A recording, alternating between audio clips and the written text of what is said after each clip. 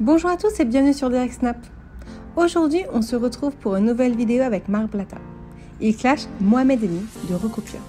Car d'après lui, il lui recopierait ses blagues et autres phrases phares. Il pousse un coup de gueule et met les choses au clair. Que pensez-vous de cette histoire? Je vous laisse avec la vidéo. N'hésitez pas à partager votre réaction en commentaire.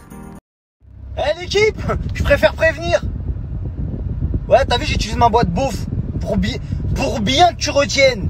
Je préfère prévenir l'équipe. C'est pas, il y a des humoristes, entre parenthèses, des pseudo-humoristes qui sont grave pas marrants, je vais pas citer de nom, moi, mais des- qui commencent à utiliser mes blagues. T'as vu, moi je pose pas mes blagues, je les pose sur Snap, 24 heures après, c'est pas je les vois sur les snaps des gens. T'as capté? Je préfère prévenir parce qu'on va, va tous vous faire un par un. J'ai peur de personne. Ouais, dans le clash, j'ai peur de personne, je vous dis la vérité. Après, dans la vraie vie, c'est autre chose.